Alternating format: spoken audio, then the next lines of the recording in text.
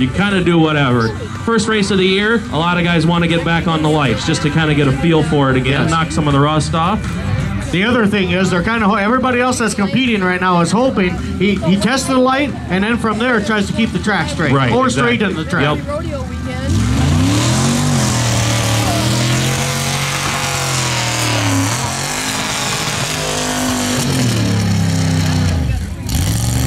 Go. Okay, so now we'll be off to Round two, we're gonna have